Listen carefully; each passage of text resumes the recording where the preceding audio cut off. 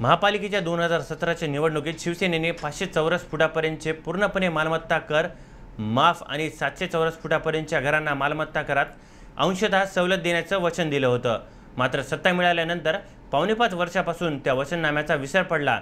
आता निवडणुकीला तीन महिने राहिल्यानंतर शिवसेनेला जाग आली. आज घाईघाईने महासभेत करमाफीचा ठराव मंजूर करून तो राज्य शासनाकडे पाठवण्याचा निर्णय घेण्यात आला. ठाणेकर जनतेची फसवणूक आहे आणि त्यांना हे निवडणुकीपूर्वी दिलेलं गाजर आहे. हे दोन हजार सतराच्या शिवसेनेच्या वचननाम्यामध्ये दिलेलं हे वचन होतं शिवसेनेचं. आणि त्यांनी दोन हजार बावीसची आता फेब्रुवारीमध्ये इलेक्शन निवडणूक आलेली आहे.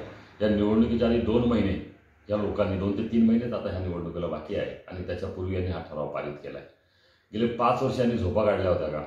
भारतीय जनता पक्ष रस्त्यावर आणि महासभेमध्ये वारंवार त्यांना आठवण करून देत आलेली आहे. का बाबा तुम्ही जे वचननाम्यामध्ये दिलेला वचनं आहेत जी वचनं आहेत मग ती पाचशे फुटाच्या घराची असू द्या पाण्याचा प्रश्न असू द्या ही सगळ्या प्रश्नांबद्दल त्यांना वारंवार आठवणी करून दिलेल्या आहेत. पण हे बरोबर निवडणुकीच्या तोंडावर आलं का यांच्या घोषणा द्यायची सुरुवात होते. आता या ठाणेकर जनताने यांची सवय झालेली आहे. हे कसे खोटे बोलतात? आणि आता ठाणेकर जनताने सवय करून घेतली पाहिजे. आता बरोबर ह्या दोन महिन्याच्या काळामध्ये ह्या अशा घोषणा देतील लोकांना भुलवण्याच्या पण लोक आता हुशार झालेली आहेत. शिवसेनेच्या नेत्यांना आणि महापौरांना मी सांगू इच्छितो लोक फसणार नाहीत. आणि कालच महापौरांनी सांगितलं का की गेले ते दीड ते दोन ते वर्ष करोनाच्या काळामध्ये हा ठराव पारित करायला उशीर झाला आहे महापौरांना माहीत नसेल का दोन हजार सतराला आपण हे वचन दिलं होतं आणि बावीसला करतोय? दोनच वर्ष झालं करोना काळ आहे. पूर्वीच्या तीन वर्षात काय झालं? का थांबला होता? तेव्हा ठाणेकर जनता आता एवढी वेळी राहिलेली नाही आहे त्यांना गृहीत धरू नका. आणि जर पैसे नाही आहेत तर तुम्ही आता करोनाच्या काळामध्ये चौदा कोटीचे एफ ओ गेले त्याला तुम्हाला पैसे आले? म्हणजे हे सगळे निवडणुकीचा फंड गोळा करण्यासाठी केलं तर तुम्हाला झोंबलं होतं. करोनाच्या काळामध्येच सगळ्यात जास्त मोठा भ्रष्टाचार झाला आणि तो पण खरेदीमध्ये झालेला आहे. हे ठाणेकरांना अवगत आहे. आणि आम्ही हे सगळे यांचे वावाडे आता या जनतेसमोर आम्ही ठेवणार आहोत. पाण्याच्या टाक्यांचे काल परवालाच उद्घाटन जोरात केलं.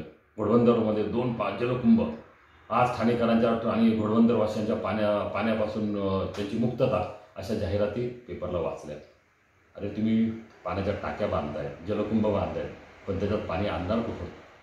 स्वतःचा तलाव आहे का? धरण आहे स्वतःचं अजून?